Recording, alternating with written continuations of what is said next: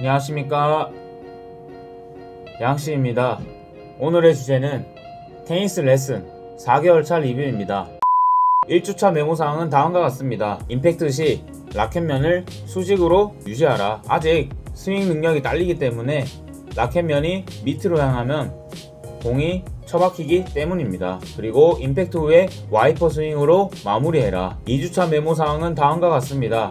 백핸드 시 팔을 그대로 빼고 몸통을 돌려서 임팩트 후 와이퍼 스윙을 해라.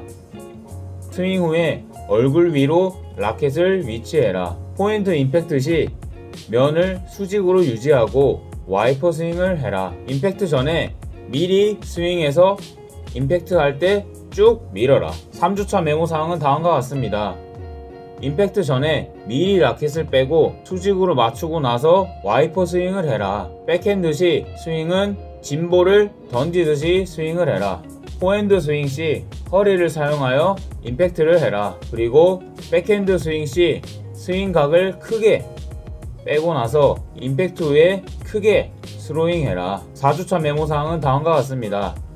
팔을 항상 미리 빼서 앞에서 공을 임팩트 해라. 백핸드는 왼손으로 와이퍼 스윙을 해라. 오른손은 거들 뿐. 포핸드는 임팩트에 집중하고 와이퍼 스윙 시 팔, 허리를 함께 사용해라. 백핸드 팔 빼는 각을 크게 빼고 왼손으로 쳐라. 그리고 발리를 처음 배웠습니다.